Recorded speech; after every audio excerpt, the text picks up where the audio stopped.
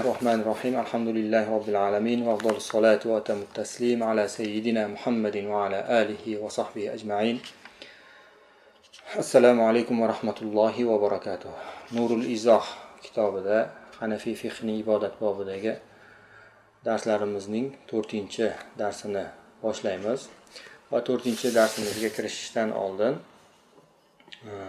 uchinchi darsimizda bayon qilgan e, mavzularimizni qisqacha eslab o'tamiz. Uchinchi darsda e, istinjo haqida bayon qilgan edik. E, istinjoning hukmlari va qanday holatda qilinishi erkak kishi qanday qilib istinjo qiladi va ayol kishi qanday qiladi shu hukmlarni bayon qilgan edik. Ana endi bu darsimizda istinjoning odoblari va makruhotlari va istinjo qilish makruh bo'lgan narsalar va qozoi hojatning odoblari haqida so'z yuritamiz faslun لا يجوز كشف العورة للاستنجاء وإن تجاوزت النجاسة مخرجها وزاد المتجاوز على قدر الدرهم لا تصح معه الصلاة إذا وجد ما يزيله ويحتال لإزالته من غير كشف العورة عند من يراه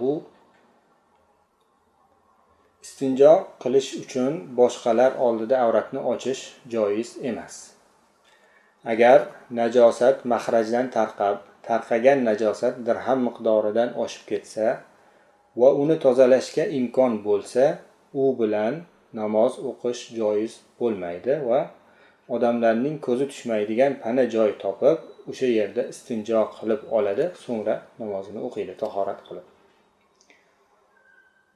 ما يكره به الاستنجاء ويكره الاستنجاء بعظم وطعام لآدمي أو بهيمة وآجر وخزف وفحم وزجاج وجص وشيء محترم كخرقة ديباج وقطن وباليد اليمنى إلا من عذر istinjo qilish makruh bo'lgan narsalar.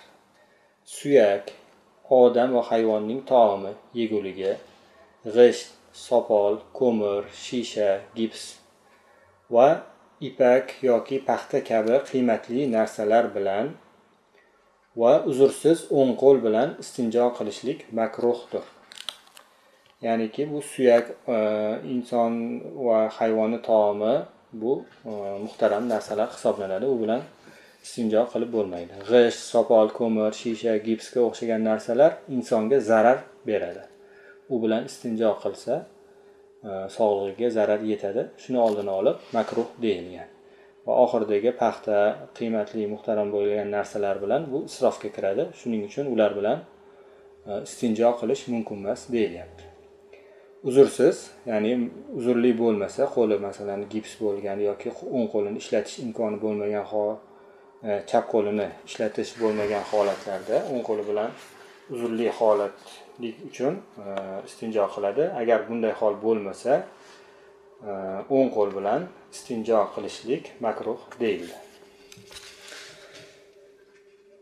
آداب قضاء الحاجة ويدخل الخلاء برجله اليسرى ويستعيذ بالله من الشيطان الرجيم قبل دخوله ويجلس معتمدا على يساره ولا يتكلم إلا لضرورة.